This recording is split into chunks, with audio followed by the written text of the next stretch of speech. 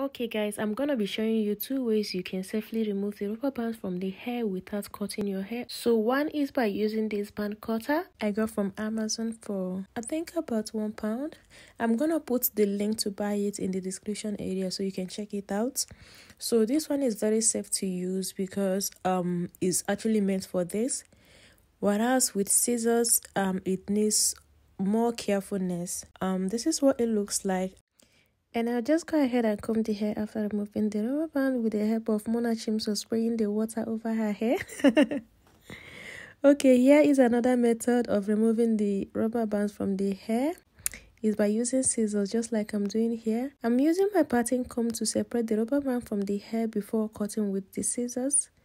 Yeah, with this uh, method it requires more carefulness because if not you're gonna cut the hair or yeah you're gonna have lots of hair breakage because of the scissors.